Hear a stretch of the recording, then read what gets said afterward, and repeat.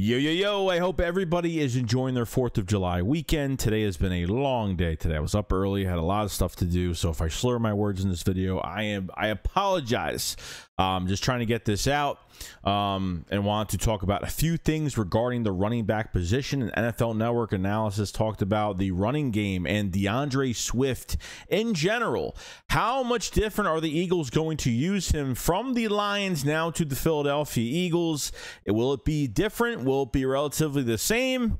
I got the news here for you. And the one thing that Howie Roseman was set at running back at a certain time um, is really going to open your eyes a little bit because we may have not have thought certain things that the Eagles really wanted to do before they signed Swift. So this is really interesting. So let's get straight into the news.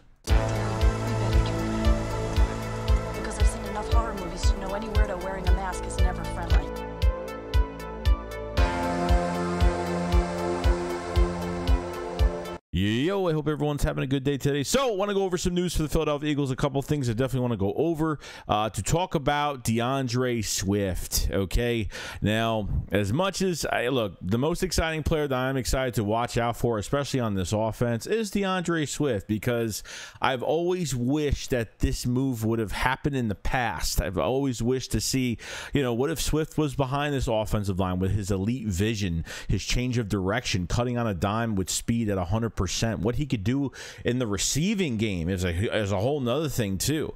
So there was some news that did come out. Um, and obviously, when we talk about when, when he was with the Lions and what he did pretty much his whole career when healthy, yeah, I mean, 156 receptions, 205 targets, over seven 7.7 yards per catch, which is which is pretty good.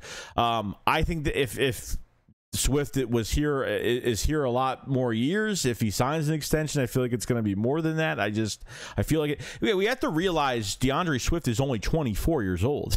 like he is young. You trade a 25 fourth rounder, which is really peanuts at this point. It's free. I mean, you literally got him for nothing. One point something million dollars to two million dollars uh, for a cap hit this year for D'Andre Swift. So nothing crazy there. Uh, but interesting enough, there was some news about you know James Palmer from NFL Network had a lot to say about um, you know are the Eagles going to use D'Andre Swift much differently than how Detroit used him? Um, James Palmer did say that the Philadelphia Eagles are going to heavily involve D'Andre Swift in the passing game, that he is the focal point of this offense.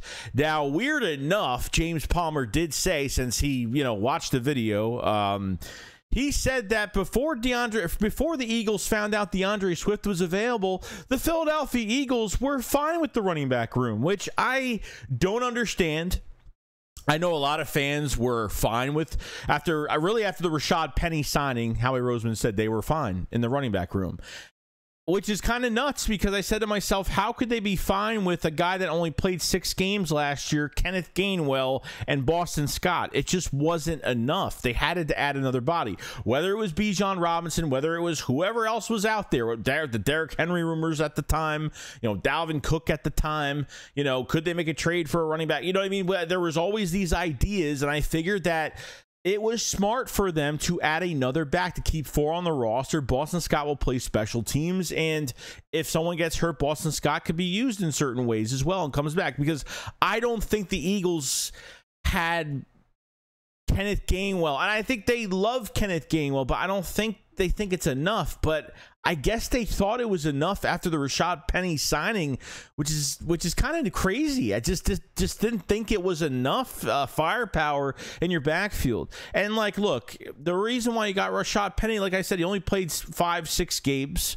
Okay, six hundred thousand dollars for the year with some incentives if he plays well, and if he's one hundred percent healthy, yeah, Rashad Penny is yeah runs between the tackles well, is great in open space, uh, welcomes contact. I mean, he has done a number on us uh, over the years as well. So, uh, you know, Rashad Penny is an A plus move, but he's got to stay healthy. It's a big what if when it comes to him, and D'Andre Swift as well. I think we're you know I think Swift is the lesser of the of the two of Rashad Penny and Swift. I think I think Swift is lesser injury prone. Um, but to think the Eagles were actually fine with the running back position after Rashad Penny being signed, ah, that's that's kind of surprising to be honest. At least for me, I was kind of right to say they need to add like one more body, whether it was through the draft or whether it was be a trade or whoever gets released or whoever becomes available. So what James Palmer did say was once the Eagles had their eye open. Now this, so what happened was I think it was the day before the first round of the draft or the day of the first round that they were exploring trades. Um, I think once Swift found out that he wasn't going to be the focal point in Detroit, that's when, yeah, that was pretty much it. Um, and he kind of wanted out. And, um, you know, a lot of rumors with Jahmyr Gibbs going to the Lions or any other team. And be honest, I think the biggest surprise move of the whole entire draft I mean, two running backs going top 13, which is kind of nuts, which I didn't expect. I expected Bijan Robinson to get drafted early, but Jahmyr Gibbs, I did not expect to get drafted that early. And I think that was one of the biggest surprises. And you saw the war room and, and how excited the Lions front office was when they drafted him. Yeah, Swift was way out the door by that time. Okay. If they're celebrating that badly, Swift was already out the door. So not only did you bring a Philly guy, into Philadelphia. You brought a Georgia Bulldog into Philadelphia as well, along with uh, many others. Okay. Now, James Palmer thinks that the Eagles are going to utilize Swift in the passing game a lot more than what the Lions did, even more. Okay. And then, really, the past year, past two years, uh, Swift was sharing the carries as well. And that kind of, you know, pissed him off a little bit because I think I think at Swift at 100% health is a three down back. I think he will have a thousand yard season with the Philadelphia Eagles if he stays healthy all year. I'm kind of wondering with Brian Johnson what he's going to do with uh, you know the distribution of carries and how he's going to use um, all of these pieces that he has right now. You know what I mean? Like there's only so much so much. It's, you know obviously this is a pass first team. I understand that, but the run game is so important where D'Andre do you know how much pressure D'Andre Swift is going to take off Jalen Hurts? Where the Eagles probably don't have to run any QB sneaks. They don't have to do too much. D'Andre Swift hasn't been with a mobile quarterback his whole career, really since high school. In high school, he had a mobile quarterback, as mobile as Jalen Hurts or more faster than him.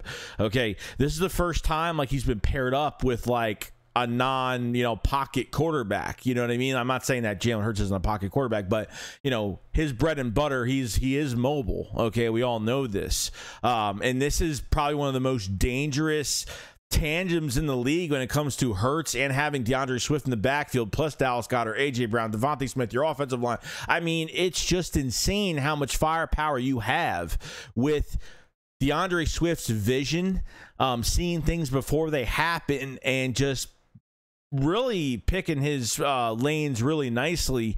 Um, does a fantastic job. Now, what I'm trying to wonder right now is how they're going to use him. And it seems like James Palmer knows that these running backs are going to be heavily involved in the passing game. Okay, even though with Miles Sanders have a thousand yards last year, he wasn't heavy in the pass game. Really, he was heavy in the pass game as a rookie with Doug Pederson. Once Nick, once Nick Sirianni came here, uh, they kind of handicapped him a little bit because I think that Miles Sanders was underutilized. I think they could have done a lot more with him, which they didn't. I don't know if it was a trust factor. I don't know what was really going on at the time, but to see that distribution, um, you know, Miles Sanders really had a good first year and a really good last year. You know, the really middle years, he had injuries, he had fumble issues, he had drop issues. So I don't know, maybe there was a trust factor that kind of fell out from the Philadelphia Eagles and said, you know, Kenneth Gainwell is more trusted in that area of expertise when it comes to the passing game as a running back. And I'm not saying that Kenneth Gainwell is a bad player, but he doesn't have some special skill set. He's just pretty productive as a rotational back. He's never going to be a three down down back. I think we all know, knew this, but I knew that the Eagles really had to add another body this offseason, and they did in a really good trade on the third day of the draft. They got it done, and bringing Swift here is a big deal. Okay, I think this could be probably one of the best running back rooms this year. I, I, mean, you stay healthy, good things could happen out of it. You know what I mean? And you know, you have, you have four running backs that have different skill sets, and defenses have to get prepared for it now. So, you know, another thing as well, uh, it made sense what James Palmer did say about D'Andre Swift is Brian Johnson. Now, Brian Johnson hasn't been an offensive coordinator since Florida. Okay, but when he was, he had his running backs heavily involved in the passing game. And I think that's kind of showing me now that, you know, even with James Palmer saying that they're going to utilize him more in the passing game than the Lions did is a really good sign, guys. Really good sign. Don't think of Swift as just a running back. Think of him as a, a big, uh, he's more of a threat out there in the passing game and what he could do in open space. Just imagine just a dump off pass to him or just something small. You know what I mean? Like, you know, these receivers are gonna are gonna spread out this defense. The offensive line's gonna do their job, and Swift is gonna have all day to run. I mean, he's a home run hitter. This is a home run hitting running back. Okay, he gets a little bit of space, he could be gone. You know what I mean? So you never know what could happen here. But I, I could see D'Andre Swift going to the double digits with touchdowns. I could see them using, you know, them. Use, he's a little bit of a bigger back too. Twenty four years old. I mean, it's not like eh, guys. It's not like you know, 2017 we picked up LeGarrette Blunt very very late in the offseason. Okay, you're not picking up a 30 year old running back here. You're picking up a 24 year old running back with one more year left on his deal. And obviously there were talks about an extension extension. There were talks about some things about an extension. If you know, maybe not now, maybe down the road. If they really, you know, I, I think they need to take advantage. If if Swift is healthy this year, plays fantastic. If they win a Super Bowl or not, I think that this team is going to play great regardless. I feel like an extension could come to D'Andre Swift, and honestly, they haven't put money into this running back position in a long time. And honestly, I would rather spend the money on D'Andre Swift than than would have spending it on Miles Sanders, and that's just the truth truth. Okay, that just obviously depends on how much you know the Eagles are willing to pay, and uh, it's really it's not even about price. It's really about you know cap hits for you know the next few years. You know, J- you know we're not affected by quarterback cap hits. We're not affected really by much of anything. The Eagles have 11 to 12 draft selections in 2024 next year, which can really, if they hit this draft even next year, on top of paying your quarterback, you could stretch out this window so far. We are in the golden years of the Philadelphia Eagles right now. And I totally believe that. Okay. Brian Johnson, like I said, get back to that since I cut myself off. Um, you know, got his running backs heavily involved at Florida. And I think that's what the one thing I just didn't like about Steichen too much. I'm just nitpicking at this point because I thought Steichen was a really good offensive coordinator.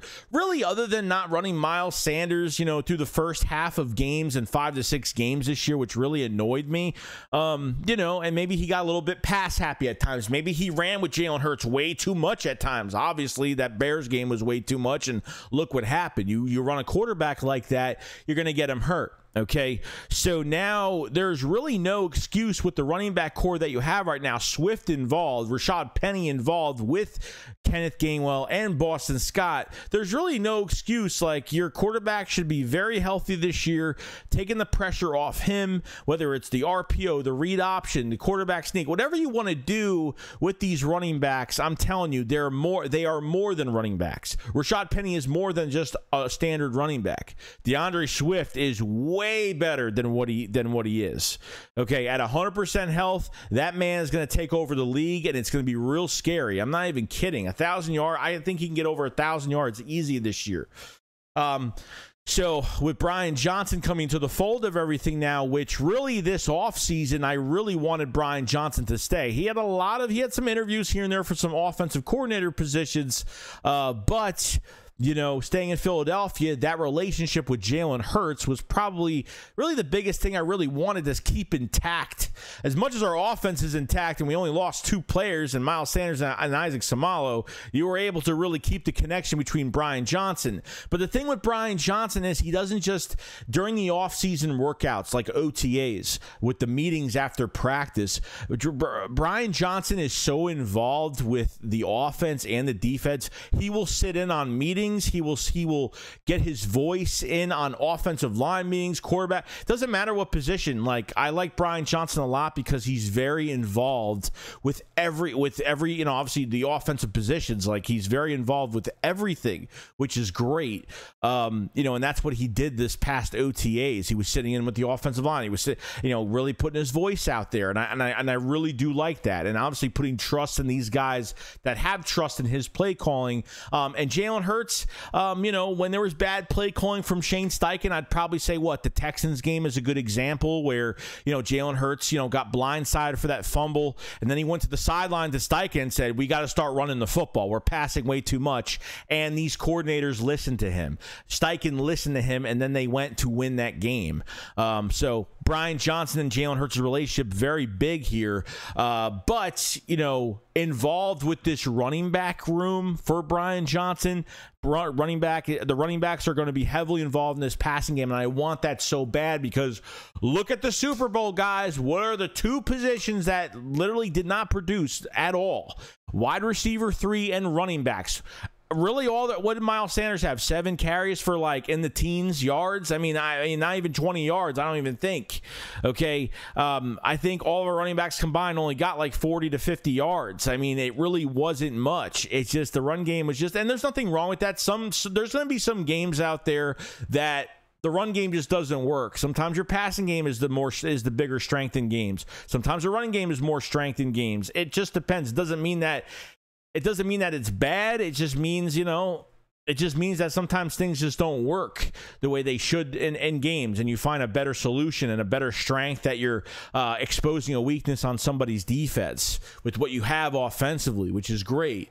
So I think Brian Johnson's a big, big focus um, in this offense when it comes to the running backs. So I like D'Andre Swift. Like I said, I've talked about him a million times. My favorite player in this offense, I mean, besides DeVonta Smith and Jalen Hurts, um, you know, is definitely seeing D'Andre Swift uh, ball out this year. And I think, you know, I think he's going to have a fantastic year, and it's a big what if for it's a big what if for D'Andre Swift. It's a big what if for Rashad Penny. Okay, I get it, but hearing from James Palmer in that video, check it out, guys, because he said the Eagles were fine at running back. They were not going to add any more players. They were after the Rashad Penny signing they were fine with it. They were comfortable, which I'm just like, what? Seriously? But once D'Andre Swift was available, once they heard through the grapevine, they called immediately. They jumped on it and got something done. And literally, Detroit was so Detroit was so desperate to get rid of him. They didn't even give like they gave away a pick in 25, a 25 fourth rounder, which is absolutely nothing. So they just wanted him to go at that point. You know, not even try to get like a third, you know, not even try to get like a maybe a fourth or fifth rounder for next year. Like that two years, like a 25 fourth rounder is just insane right now. So that's all I really got to say, guys. I mean, I think you know this. This that was about James Palmer and what he said on NFL Network about how you know the Lions used him, how they, they used him in the passing game, and how are the Eagles going to change that? Are they going to keep it relatively the same? And from what it sounds like, they're going to have him way more involved as more of the focal point of this offense in the running back room. But secondly, in this passing game, which is I think they're going to use him a lot. And because Brian Johnson's here, it's even better. And I think it makes more sense when you put two and two together with Brian Johnson has done in the past as an offensive coordinator as well. So I know from you guys, what do you think the Eagles are going to do? Brian Johnson as the offensive coordinator in this offense. Do you think that D'Andre Swift is going to be heavily in the passing game, or do you think it's not going to be as much? Now I understand, yes, we do have a passing game with our receivers. I understand that the offense runs runs through DeVonta Smith, AJ Brown, and Dallas Goedert, which definitely makes sense. But you're running routes with these receivers. They're bringing these defenders downfield. You have an offensive line with good protection.